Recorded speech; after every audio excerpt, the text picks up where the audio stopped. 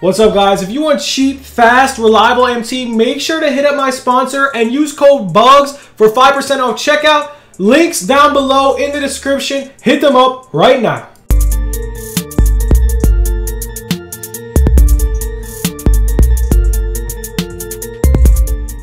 What's good YouTube? It's your boy Bugz back on another NBA 2K21 My Team video and guys today we are going to go over these two insane fire, fire GOAT snipes we got in NBA 2K21 My Team, man, um, yesterday on stream. So, pretty much, man, we got two crazy snipes, and we're going to make a lot of MT off these two snipes.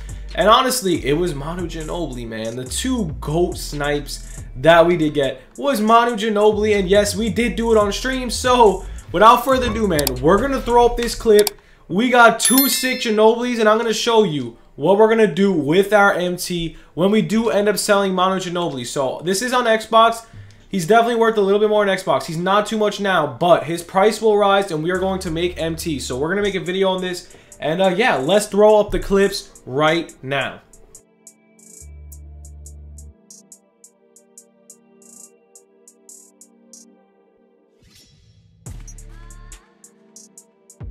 Okay, so now, since we did get these cards, man, we are going to make a lot of MT. One sold last night for 150k, and as you guys can see, there's not too many up on the market. Not only that, man, these two GOAT snipes that we did get, okay, this Manu Ginobili, he's in for a lock and set.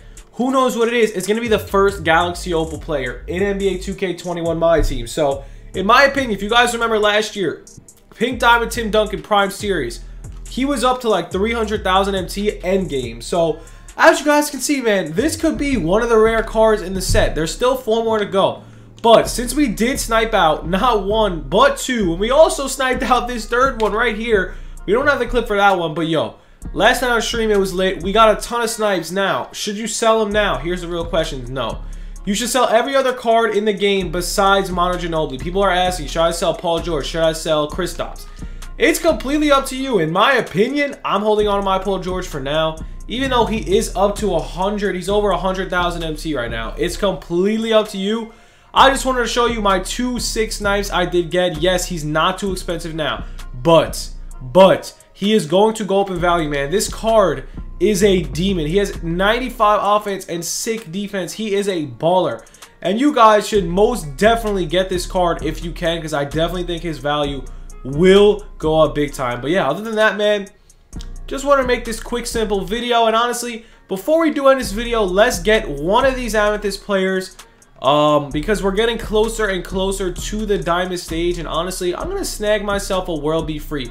That card is pretty solid. And now we are three Amethysts away, which is 90 tokens away from the Diamond stage. And we're our first Diamond is most likely going to be Mark Aguirre or Gail Goodrich. I love Mark Aguirre. He's always all around defensively nice. And same with this Gail, man. This guy could change the game because he's very small. He's a point guard, and he could shoot like a beast, even though his defense is not the best.